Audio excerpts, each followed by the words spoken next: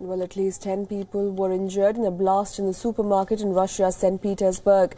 The blast occurred when the supermarket was teeming with holiday shoppers. As per reports, the blast was caused by a homemade bomb packed with pieces of metals. The bomb was kept in a locker where shoppers leave their belongings in the branch of a supermarket chain. The federal investigation team has opened a criminal case on grounds of attempt to murder.